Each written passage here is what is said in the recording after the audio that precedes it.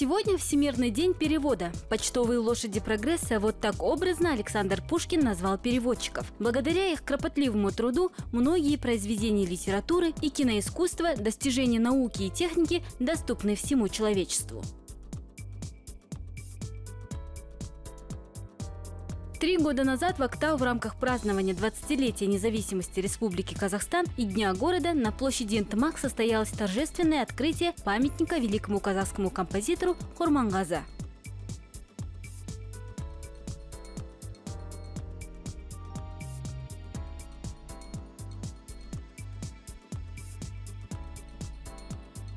Сто двенадцать лет назад запатентован искусственный шелк – вискоза.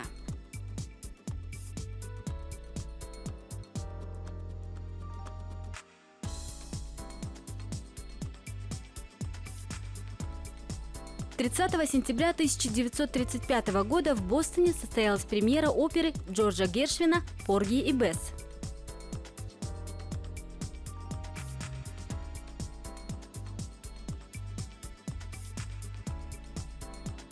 Восемьдесят лет назад родился писатель, публицист, поэт, переводчик, заслуженный деятель культуры Казахстана Сарбас Актаев.